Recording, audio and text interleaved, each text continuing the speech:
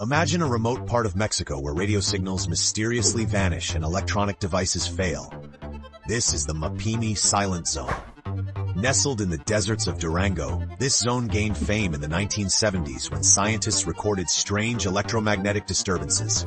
Some say it's a natural anomaly, while others believe it's linked to secret experiments or even extraterrestrial activity.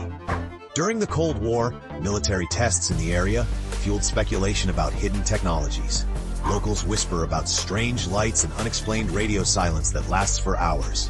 In 1974, a U.S. satellite detected intense electromagnetic fluctuations here, sparking worldwide curiosity.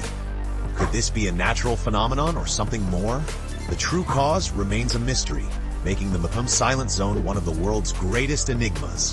What if the secrets of this silent desert hold answers to extraterrestrial life or hidden science? The truth might be stranger than fiction.